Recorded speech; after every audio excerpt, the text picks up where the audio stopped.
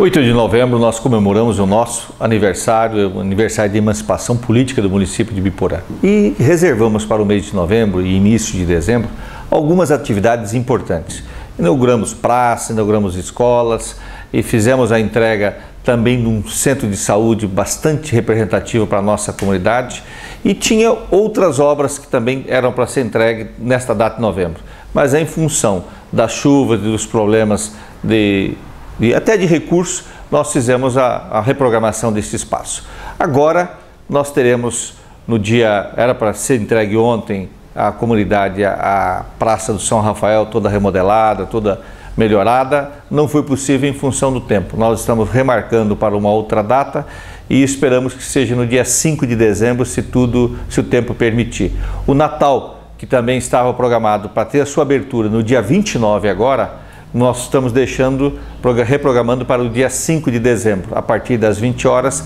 na Praça Pio XII, a nossa praça central, nós estaremos fazendo o lançamento Natal. Um, houve um esforço muito grande neste ano, como nos anos anteriores, mas neste ano com, muito, com outros modelos, com outra repaginação do próprio enfeite de Natal, feito pela PMI, as voluntárias deste processo, junto com a Secretaria de Ação Social do município de Biporã e, com certeza, vai orgulhar todos os biporaenses que derem a honra e a, da sua presença nesse, fato da, da abertura do dia 5 de dezembro. Também era para ter sido entregue no dia 27 a escola João Nelson Esperandil, a escola que serve aos conjuntos habitacionais é, Jamil Saca, Said Mustafa Issa e Miguel Petri e mais o Agenor Barduco e ao, também ao Sarabia, mas em função da falta de agenda para esta data do, do ministro da representante do ministro das cidades, infelizmente nós estaremos prorrogando isso para mais à frente.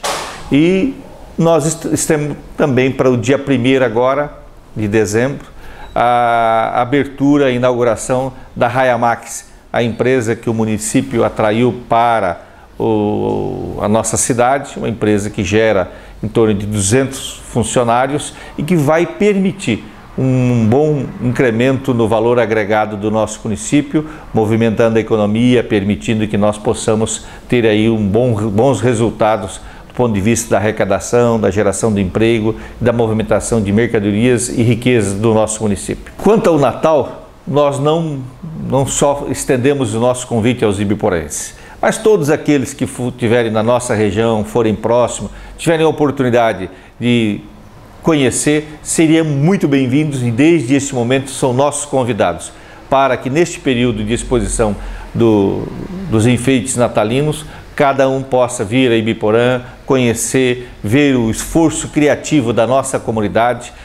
e também é, estar relembrando em muitos aquela, aquele período saudoso da infância e criando nos filhos também este mesmo sentimento das festas natalinas tão importante para a vida e a convivência do mundo cristão.